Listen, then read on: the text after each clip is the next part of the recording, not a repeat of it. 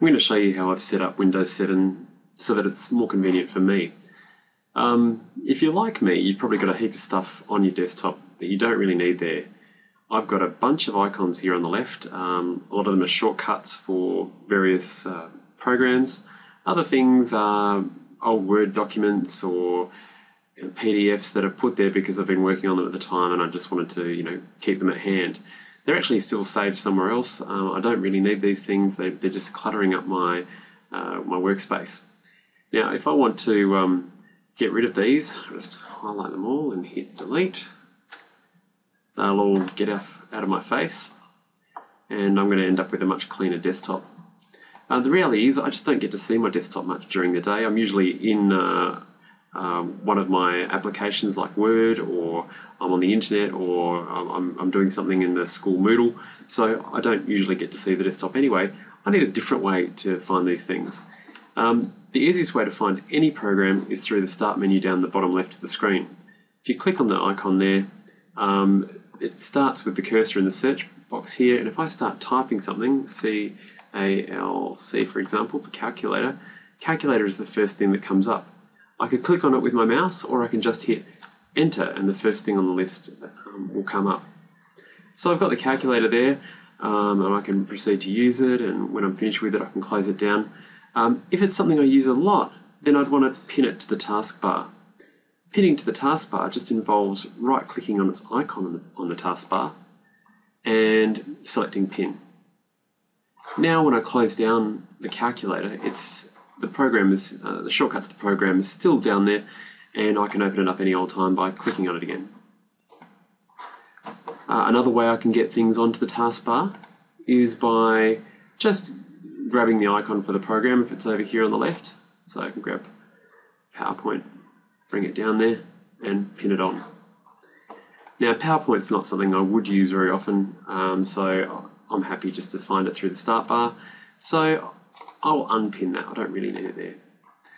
These things that are pinned here are really handy because you can tell at a glance what you've got open. For example, um, here I've got OneNote is highlighted, so I've got something there, and when I put my mouse over the top of it, it shows me what's open in OneNote. If I've got a, a couple of different uh, words open, so I've got one and open another one, file, uh, you I've got a couple of uh, screens open here, let's put some typing in that one, uh, and then I go and do something else and I minimize them. If I want to find them again, I can just put my mouse over the word there and uh, I get both of them. And put the mouse over, that pops up, I can see what it is, and then I can click to select that I want that one. It's pretty nifty. Um, the other good thing about uh, these pinned programs down here is that if you right click on them, it takes you to something called a jump list. And that jump list has got all of the different things that I've been looking at recently.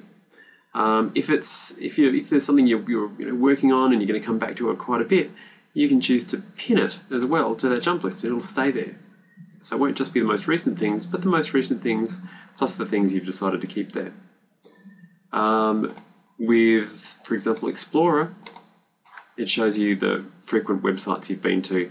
And if it's a website you visit often, then you might want to have a look at it there. The other good thing about Explorer is if uh, you open it up and you're on a web page that you use pretty often, for example, um, www.wikipedia. Uh, there we go, Wikipedia. Let's wait for it to load.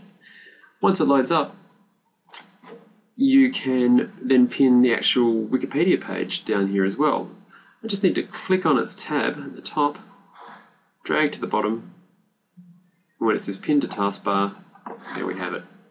So I can pin that there and it opens up in a new screen, uh, new window, can shut that down, shut that down.